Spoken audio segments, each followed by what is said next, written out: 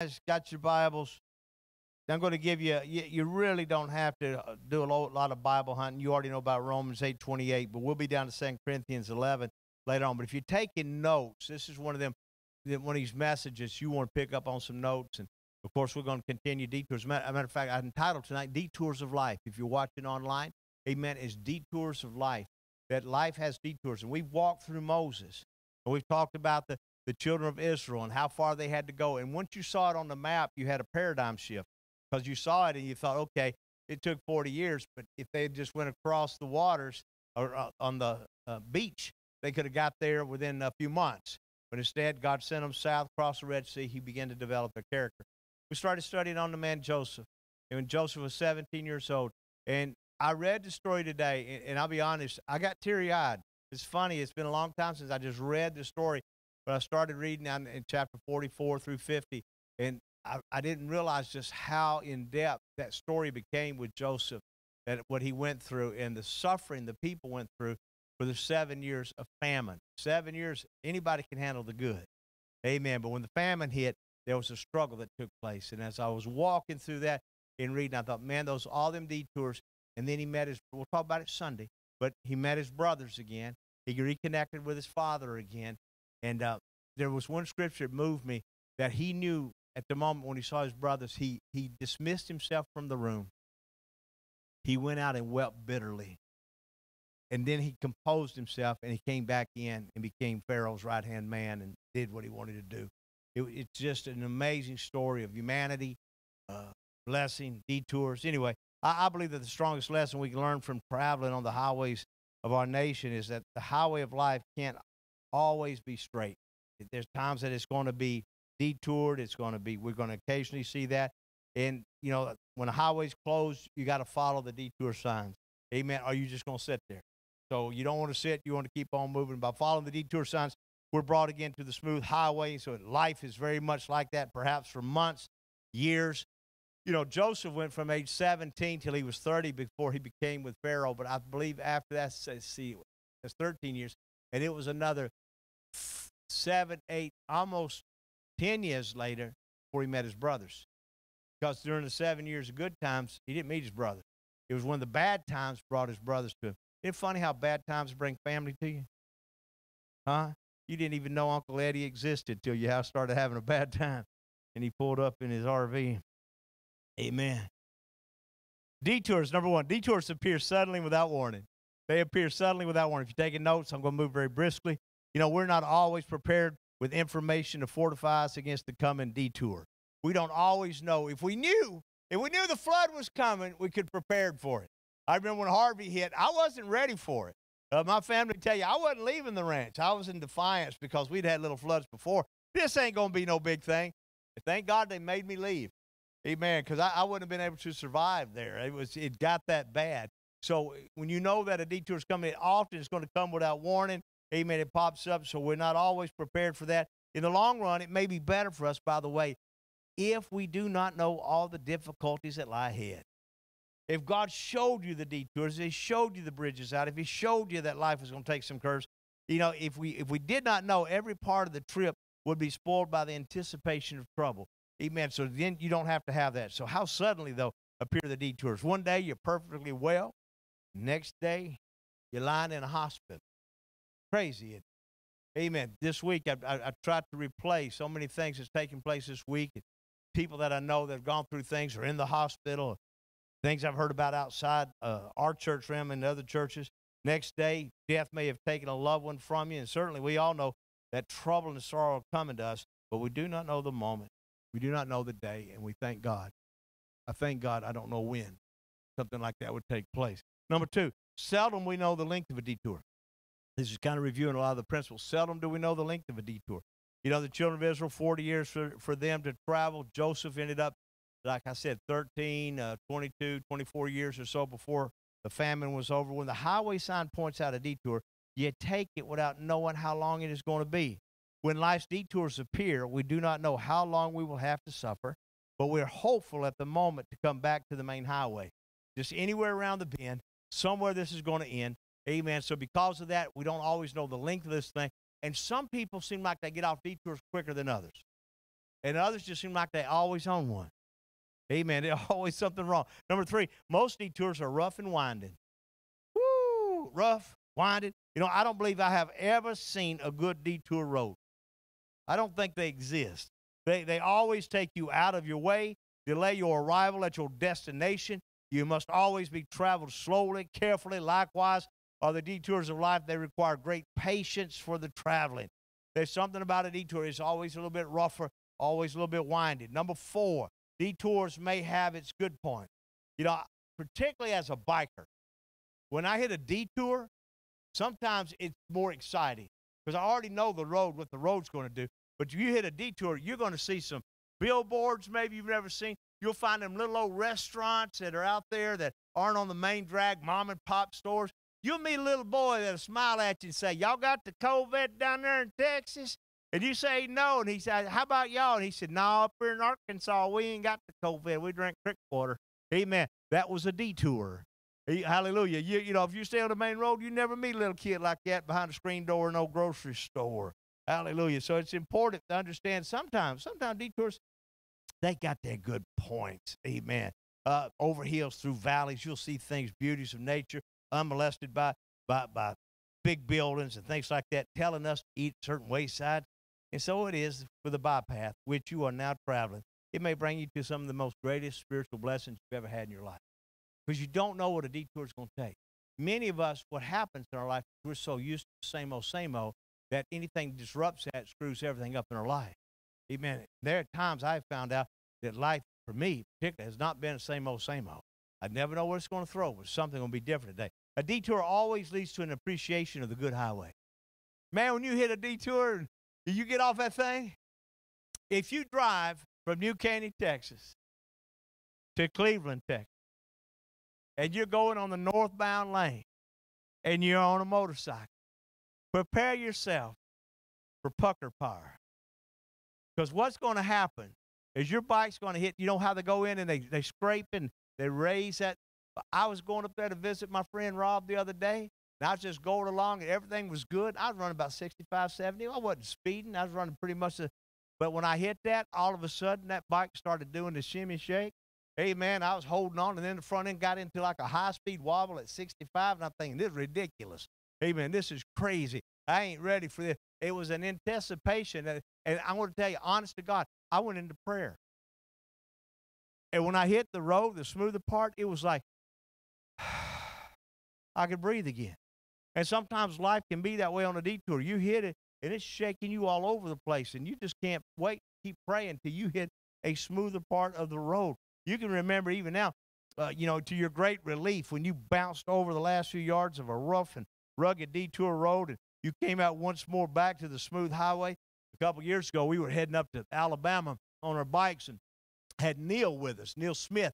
And uh, Neil, Neil's a, very patient rider. He's a he's he's ridden for his whole life, and uh, he's he's just a good rider. But we were riding along, and we hit a rough patch. And I remember I looked in my mirror, and the, and I heard somebody yell, and I looked up, and he hit a side of the road, and he left his bike. His butt was out of the seat, it was parallel with the handlebars.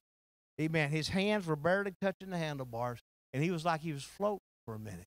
And it's, you know, if you're on a bike in front of somebody that's doing that, you can't help them. Nothing you can do. But he came back down perfectly back into his seat. But I'm going to promise you, if you ask Neil Smith, how was your ride to Alabama? He's going to bring up that little bit of the road that was not real smooth. And it's funny. I, I just I still have memories of that. In the realm of living, the dark days lead to an appreciation of the bright ones. You can't have real bright days until you've had real dark days. Amen. The dark days prepare you for that. If every day were filled with sunshine, amen, we would soon lose our appreciation of it. The folks who live in Miami, Florida, they don't appreciate sunshine like those in, in Montana. Amen. They have no appreciation because they get it all the time. Uh, California, they don't understand it. They get it all the time. But down here, I love the, the how quick seasons change here in Texas. Amen. I have a deep appreciation. When somebody says, it's cold outside, I say, you didn't go through our summer. You weren't in our summer. You didn't hit 103 degrees standing on tires sweating. Amen. Smelling stinky kids while you were throwing them off. You, you don't have no idea. Amen. We earn these winters. We earn these few, few cool days that we get. Amen. That's a good thing. So trouble, sorrow, or affliction are never enjoyed, but they do help us to take full advantage of the good days which the Lord gives. Number six, on a detour, you drive more or less by faith. You have to now, because you've never been this way before. The detour road is one that you have not traveled. Moses, children of Israel, never traveled that way. Joseph, I never dreamed that he was going to travel the way that he went. As I walk through Scripture in my mind, and I think of David, and I think of Abraham, and I think of others, they didn't realize that, uh, where they were going to walk and how they were going to travel. Therefore, you must follow the signs which promise to bring you back on the regular highway. And here's the place for us to quote and understand. When I see these signs, and I know that I'm moving through life this way, I think to myself, Romans 8 28, all things work together for good to them that love God and are called according to his purpose. I'm just going to stand on that. If I got a job at Shell, I'm going to stand on that word. Amen. If my kids are sick, I'm going to stand on that word. No matter what's going on, this word is, is universal and it's for all of us. When Paul said that we know, we don't know a lot of stuff, but we know this. It's down inside of our knower. It's got down here that all things work together for good to them that love God. Amen. Are called according to his purpose. All I got to do is love God. Amen. And understand this detour I'm on, he, evidently he's got something to do with it. Amen. If he does, then why this thing's going to work out. So, Pastor, uh, what, what attitude should we take toward the detours of life? First, you can turn around and go back. You can stop right there when the road closed. Amen. Turn around and head back the other way if you want to. A lot of, be honest with you, cowards, people that are afraid, no backbone, they'll turn around and go back. Amen. Or we can take the detour and grumble and complain about it all the time. Don't you love getting stuck in a car with people like that? Sister Lori and I were talking about vacations with certain people. None of you, amen.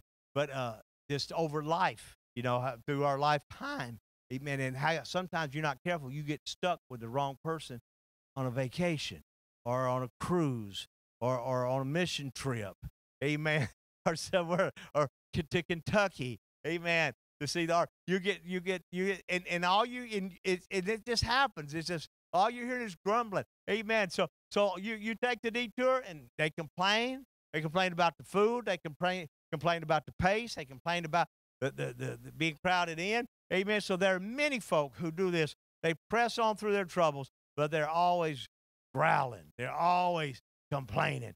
Do you know what happens with those people? They don't ride with me anymore. Amen. I mean, seriously, you got to take a good look at it and say, you know, I, I just think they'd be better off to go with Uncle Eddie. Amen. Amen. Hallelujah. So, such are the folk who are forever telling you about their operations, their sufferings, it doesn't matter what you're going through, they're going through something worse. Amen. Their detour is worse than your detour. They're, they're, they're, they they, they just keep going on and on, and you just say, Dear Jesus. Well, never mind. Let's keep moving. As a result of this complaining attitude, their condition is what? Made worse. It just gets worse.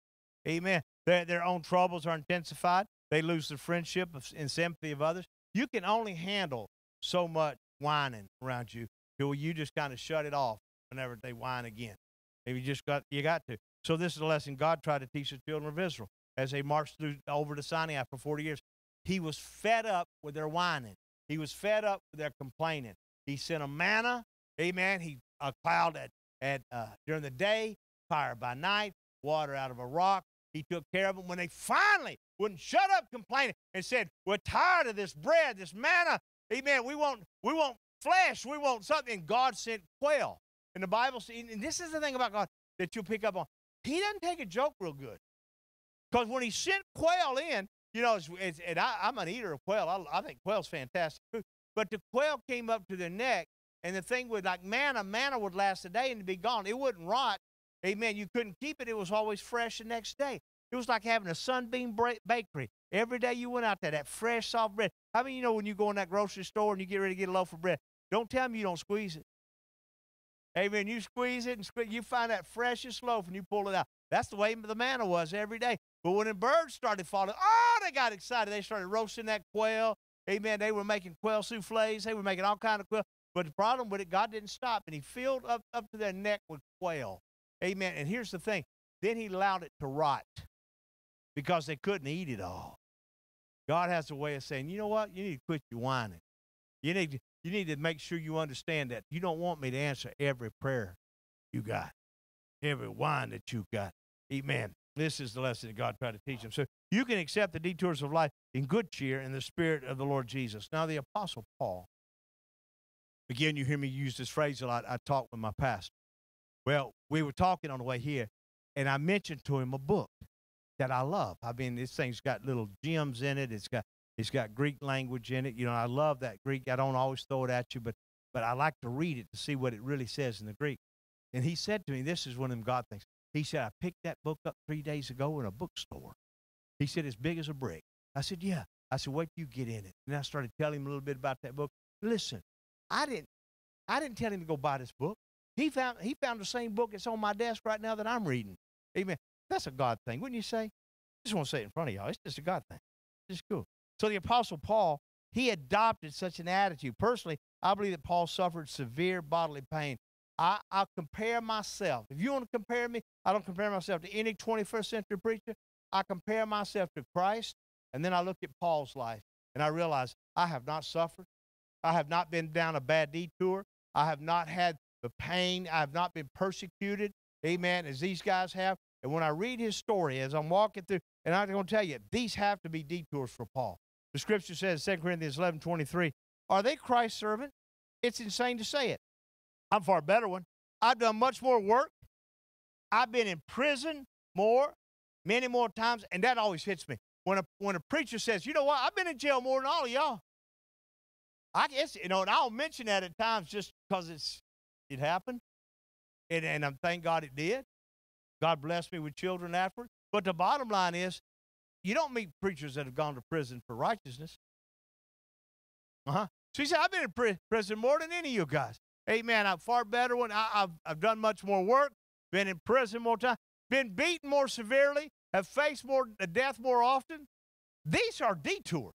Five times the Jewish leaders had me beaten with 39 lashes. Now I want you to hold on to that because I'm fitting to go somewhere else. Three times Roman officials had me beaten with clubs. The word clubs there is actually the word cane, caning, a caning. So it's different than the lashes. Okay, I'll tell you about it in a minute. Once people tried to stone me to death. We read that. Three times I was shipwrecked and I drifted on the sea for a night and a day. Because I've traveled a lot, I faced dangers from raging rivers, from robbers, from my own people, from other people, I've faced dangers in the city, in the open country, on the sea, and from believers who turned out to be false friends. Now, the reason Paul is saying all this is they put him in a place to force him to boast about the sufferings he's gone through. He wasn't going to say it, but they were acting like they were better preachers, they were super saints, and God was doing this, that, and the other. And Paul said, Okay, is that your resume? Amen. You, you, you worked in a Pentecostal church for four years and somebody gossiped about you and you go act like that was good. Let me tell you what real life's about. Because I've had to work so hard, I've often gone without sleep, been hungry and thirsty, gone without food, without proper clothes during cold weather. Besides these external matters, I have daily pressure of my anxiety about all the churches. Then anyone is weak, I'm weak too. When anyone is caught in a trap, I'm also harmed. In other words, I suffer with those that are suffering, those that hurt. So when I read this, you got to hear it again. It includes multiple imprisonment.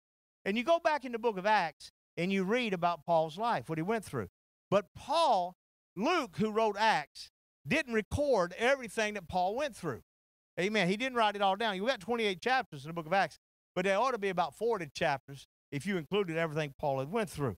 Amen. He said imprisonments, beatings, flogging, canings. Now, I'm reading about caning because I want to know the difference in a beating, a lashes, three times with lashes, and these three beatings with cane. And I'm studying it, and it, it's like they would take a man and they would wrap him in what looks like a straitjacket.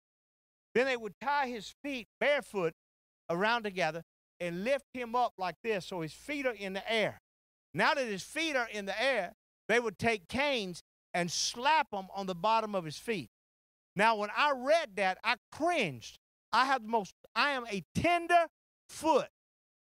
I do not walk around the house barefooted. I ain't been barefooted since I was 16 years old.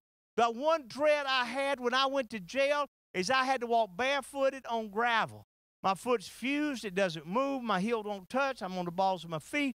Amen. It's painful. And when I read that, I thought, you kidding me, Paul? They strung him up and they slapped the bottom of his feet until they bloody, toes were broke, almost maimed. They did it to him three times.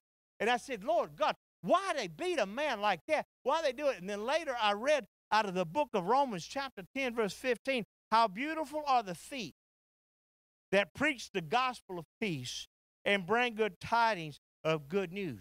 And I said, You devil, you were trying to stop the gospel from going forward. You were trying to stop this man from walking. You were trying to stop this man from moving. So when Paul lays this list out, he said, Guys, I don't think you understand. My detours have been very severe, they have been extremely painful. When they beat my feet, he meant I couldn't go nowhere. And that made sense to me. Then he talked about being stoned to death. Of course, he was and went to the heavens and came back. Then he talked about three shipwrecks. Well, only in the book of Acts, chapter 27, we read the shipwreck where he was in on the Isle of Malta. Amen. Bit by a snake, shook it off. Remember the whole story? But he said, No, I'm going to tell you something. That's what, that's what Luke wrote down. I remember two more. How many know you remember? You remember what you've gone through in life. You remember the detours that brought you to where you're at. You remember getting on that boat out in the middle of the water, and all of a sudden you're you're floating on a plank somewhere or holding on to a whiskey barrel, maybe not whiskey, years. You remember. Paul said, I remember. I remember three times I was shipwrecked. I remember being night and day floating in the water, an open sea. Amen. He hadn't always had enough food, clothes, sleep, friends. He'd been chased by bandits, been infuriated by religious leaders, defended the gospel, battled temptation and anxiety over his young churches. Thank God for cheerful sufferers. Every now and then I will meet someone, and I have in my life, who have gone through terrible diseases with smiles on their face and showed me how they've struggled through life and hit detours. Amen. Lost loved ones and showed me that, look, it's going to be all right. See them again. Amen. They taught me things in life. Hallelujah. And when you have those kind of people around you, you thank God for that, that cheerful surfer, sufferer every day. I do not understand it all, but I love God. I trust Him completely. Amen. Listen, sometimes you got to pause. You got to hold back just a little, and you got to think about the Word of God, which you just read. Hallelujah. Sorrow may be traveling with you. David said, Goodness and mercy going to travel with me. Amen. No matter what I've gone through in life. When you read about David's life, it was full of all kind of sufferings with his children. Amen. All kinds. And yet he said, goodness and mercy are going to follow me all the days. Now let me start closing here. Pastor, when does the detour end? Good question, huh? Found it. John 14. We sang about it, second song. In my father's house, there's a place for me. Amen. That's where the detours end. Do not let your hearts be troubled. You believe in God. I love the scripture that out of King James says, You trust in God, trust also in me. My father's house has many rooms. If that were not so, would have I would have told you that where I'm going to prepare a place for you. And if I go and prepare a place for you, I'll come back and take you to be with me. That you'll always be with me. Amen. You know the place where I am going. When I read this, I realize the detours. God has a place for us. It's the Father's. David Livingstone was a great missionary who went through a lot of struggles. Someone asked David Livingstone, which verse in the Bible meant most to him? Without hesitation, he said, Lo, I'm with you always. Lo, I'm with you always. When you pause for a moment and recognize the presence of Him who stands by you through detours, through illness, affliction, amen. The mystery of human suffering is always before us, and hardly a day goes by that I do not hear some person say, I wonder why I had to suffer so much. I wonder why I'm going through this. And I, I am one of those guys that can always show you somebody that's struggling a little bit more, but I know your suffering is real. I know your pain is real. Amen. And I don't have the answer. I've never had the answer to human suffering, but this I do know humans suffer. Humans detour. Humans go through anger. Humans have And that's why I said Sunday, don't tell me God to give you a life. How did I say? About more than you can bear. You know, but He won't put on me more than I can bear. God will always put on you more than you can bear. Amen. To prove that He is all sufficient and you need Him. Amen. Amen. So when I, I read what, what this man Livingstone said, the world is, you know, the world is one of sin, suffering. And again, we talked about in the beginning of the service, there is a devil out there. There is a Satan. Amen. There is wickedness in this world. And I can only suggest that you remember that this world, amen, being that way and has it's long been full of the devil. Hallelujah. We're going to have illness. We're going to have afflictions. Before I got here, I just flipped on the news and there it was again. Children suffer. This one suffered. That one suffered. And then you hear somebody, you know, shot, boost, boosted, COVID, no symptoms. Didn't make sense. All of this don't make sense. That's what I'm saying. I, I struggle with their misinformation. Now we got another strand coming. God, how long? How long? Amen. We're going to have to endure foolish craziness and some of it the realness because some of it has been very real. So we have a blessed promise. As we read 2 corinthians 12 9 says and he said unto me my grace is sufficient for thee for my strength is made perfect in weakness. The last place there are detours of disappointment. No one in life is free from this detour. I believe everyone is on them whether they realize it or not and I think once you realize, once you realize this is simply a detour, then life gets a little bit better. If, if I was going down the bumpy road and shaking all the time and wondering why all this is happening, I said, God, what's up? Eh, but then once I realized, you know what? This is simply a detour. And the one thing I know about detours, they're not going to last forever. And I'll hit a smooth road again. It'll straighten out. There'll be some good times. I'll be able to look back and tell a friend of mine, hey, this kind of rough. Yeah, I was on that road last week. You're going to be all right. Amen. Stay to the right. Been down it before. Don't get in the left lane. Stay to the right. Amen. Because I've been down that detour. Hallelujah. They're not going to last forever. In the face of disappointment, we have to smile. We got to stay sweet. We got to trust God. You know, my life is not all it would be without the detours that took place, without all the disappointments that took place, all the suffering. And so neither would yours. Amen. God used all of those to make us who we are. So we close and we'll repeat this verse together. Romans 8, 28. And we know that all things work together for good to them that love God, to them who are called according to his purpose. Father, I thank you for the word of God. I thank you for detour. Lord, you know, the thing is, Father, there are times that we don't have to thank you for it. We can just endure it, whine and gripe. But I find when I thank you for it, it brings meaning to it. So I thank you for the deep. I thank you for life's ups and downs, twists and God, I ask that you bring us into a safe harbor eventually. And God, after that, whatever you have for us. But as we explore this word, as we see it in the Word of God, I thank you that you have never left us nor forsaken us while we've endured it. Jesus. Amen. Amen. Amen. Well, that's all I got for you tonight. Happy birthday, David. Hallelujah. Please, uh, on your way out, look back there and tell him happy birthday. Okay? These men that work with me mean the world. Family. Yeah, I walk through the property and there'd be Joseph, Skylar, and Addie, and dog running on the property. I walk back the other way, David, Tony, three munchkins, going to get something for his dad and mom, man, who are living on the property. So it's never a dull moment there. And then here goes Speedy Gonzalez driving through the property. Ramirez. Amen. God love you. We'll see y'all on Sunday. If you want to come out and work with us on Friday and Saturday cutting trees, amen, come on out and hang out with us. Love you. You too, Keith.